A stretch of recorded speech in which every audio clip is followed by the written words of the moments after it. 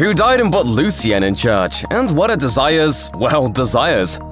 Here's what we know about the ending of The Sandman Season 1. The final episode of The Sandman Season 1 shows the demon Azazel egging Lucifer Morningstar on, with the hellish ruler plotting to use the full might of their armies to bring Morpheus to his knees. While this strongly hints at a full-blown war between the demons of hell and the forces of the dreaming, if the show follows a course of the source material, this subplot will likely end in Lucifer's retirement from being the monarch of hell, perhaps even following a similar path to that of the Lucifer that Tom Ellis portrayed in the series of the same name. Then again, the showrunners may subvert the expectations of longtime fans, and things could unfold on the TV show in an entirely different manner. In an interview with TV Line, Gwendoline Christie mused that the idea of losing to Dream must be entirely consuming for the former favored angel of God, perhaps enough for it to dwell on their mind and dictate their actions in future seasons. The loss in season 1 could even be considered the final insult for them. What Lightbringer? It's your move.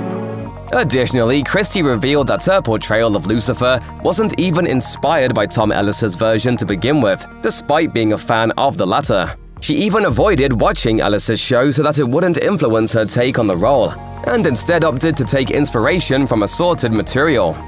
Introduced in episode 1, the Corinthian serves as a primary antagonist for the first season of Netflix's The Sandman. The Corinthian's apparent obsession with killing people in the waking world and the unmistakable joy he derives from taking a life makes him the ideal season-long foil for Morpheus. Aside from being an incredibly dangerous opponent, the Corinthian also represents everything that stands against Dream's principles. While Morpheus is all about maintaining balance, adhering to predetermined roles, and restoring things to the way they were before his disappearance, the Corinthian delights in becoming an agent of chaos and murder on Earth. He refuses to stick to the responsibilities he was created to fulfill. In The Sandman Companion, Neil Gaiman confirmed that the nightmare's name came from the word pertaining to the behavior typically attributed to someone from the ancient Grecian region of Corinth, reckless, lacking in morals, and possessing a distaste for rules. Given how closely the series sticks to the events of the source material, it's highly likely that we'll see the Corinthian again in a future season, though perhaps not anytime soon. Despite Dream's proclamation in episode 10 that the world doesn't need another Malvide nightmare just yet, the comic book version of The Lord of Dreams does end up remaking a more loyal, less petty version of the Corinthian. The beginning of Netflix's Sandman series shows how Dream was captured by Roderick Burgess in 1916 and kept as a prisoner in his mansion in Wych England. The ruler of the Dreaming is shown to be unwavering, ruthless, and inflexible in his purpose as well as his resolve. He spends a century in his prison, remaining completely silent while being guarded round the clock by Burgess's men and when an opportunity to escape arises, Morpheus swiftly takes it. However, his quest to bring things back to the way they were leads him to become gradually but profoundly changed. He begins to realize that he has committed mistakes during his rule as Dream Lord, and also learns to be less rigid and more merciful. It seems I owe you an apology. I've always heard it impolite to keep one's friends waiting. He recognizes the efforts of his librarian Lucienne to keep the dreaming running in his extended absence. He also accepts the harsh truth that he does need friends, and even shows compassion in situations where he would normally make cold calculated decisions. In an interview with The Wrap, Tom Sturridge revealed that he followed two principles in his portrayal of Morpheus, that his words are calculated and precise, and that he is terrifying and authoritative, yet seductive. This makes the character journey of someone as set in his ways as Dream so fascinating to watch throughout The Sandman. It's an evolution we're sure to see more of. For the uninitiated, one of the most shocking things to come out of the first season of The Sandman is the dream pregnancy of Lyta Hall which was somehow carried over to the real world thanks to Rose Walker's powers as a dream vortex. Lyta's child was conceived when she and her dead husband Hector met and made love in Lyta's dream. In the Sandman Season 1 finale, Lyta gives birth to a healthy child, who has yet to receive a name. After surviving her ordeal with Morpheus thanks to her grandmother Unity Kincaid's ultimate sacrifice, Rose commits to raising the child alongside her brother Jed and Lyta. What new fans of The Sandman may not realize, though, is that the series may have actually planted the seeds of its finale as early as this sequence of events. In the comics, the child, who is the son of established DC superheroes Dr. Fate and Fury, receives the name Daniel from Morpheus himself. Through a series of complicated and ultimately tragic events, Daniel grows up and discovers that he has the power to cross over to the Dreaming. Eventually, he becomes the new ruler of the Dreaming when Morpheus dies at the hands of the Kindly Ones, becoming the new Dream of the Endless. Despite the Corinthians' attempts to trick Rose Walker into using her Dream Vortex abilities to destroy Morpheus, the young woman decides to sacrifice herself to ensure the survival of her loved ones. She avoids this fate, however, thanks to the intervention of two characters, the enigmatic Gilbert, who is secretly an escapee from the dreaming called Fiddler's Green, and Rose's grandmother, Unity Kincaid, who takes the Dream Vortex from Rose so that she could die in her great-granddaughter's place. In an interview with Popverse conducted during SDCC 2022, Vanessa Samunai shared that in bringing Rosa Dream Vortex to life, she had to work on building the character's backstory on her own. This was because they were using an early storyline from the comics that covered only a fraction of Rosa's development. She also described her role in a way that hinted there's more to come for the character in future seasons. Plus, given Rose's commitment at the end of the series to take care of her brother Jed and Lyta's currently unnamed child, it's almost a certainty that we'll see the character again, maybe even as early as Season 2. Perhaps her time as a Dream Vortex will come in handy when she guides Lyta's child into adulthood. In Dream's absence, the librarian Lucienne takes it upon herself to maintain order in the dreaming. Whereas the other enchanted denizens of the realm lost faith in Morpheus and left the kingdom, Lucienne stayed firmly believing that Dream would return someday. When Morpheus finally does make his return, he starts by being largely dismissive and unappreciative of Lucienne's thoughts and opinions. By season's end, though, Dream places the day-to-day operations of the realm in Lucienne's capable hands once again, as he focuses on creating a new batch of dreams and nightmares.